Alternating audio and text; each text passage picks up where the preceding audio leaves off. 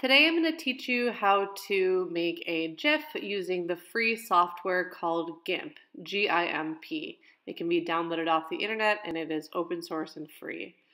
First thing that you want to do is decide what you want your subject matter to be and you're going to be making your GIF from a series of screenshots that are taken from a YouTube video. So for me, I wanted to make a GIF of Emma Watson playing with cats I knew there was a video out there, so I just searched for that, pulled up the video, and then I prepared to screenshot.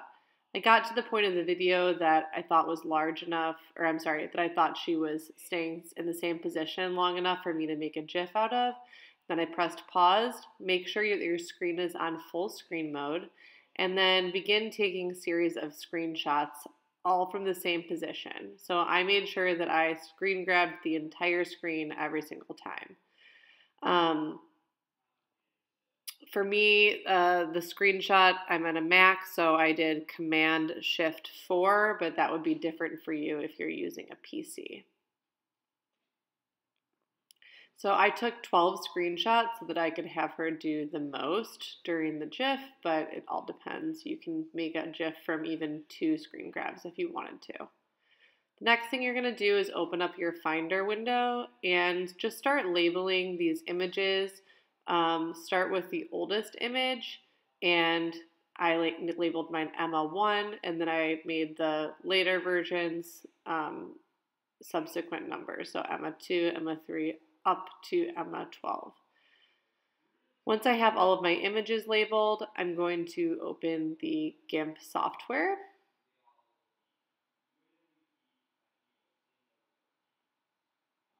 Not quite there yet.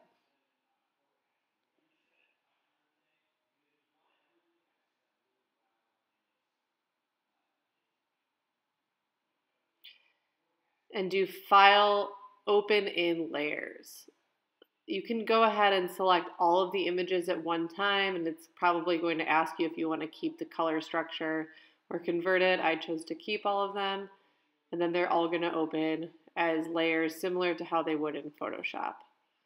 This is a really easy tool in GIMP.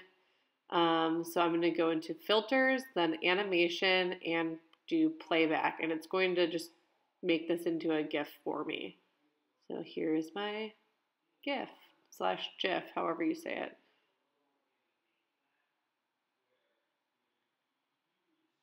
So in order to save this, I'm going to do File Export, name my video, export as, and then save that as a .gif.